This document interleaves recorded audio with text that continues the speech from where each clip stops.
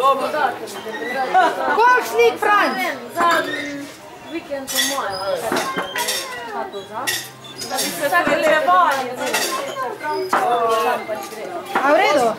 Kaj je 120, je?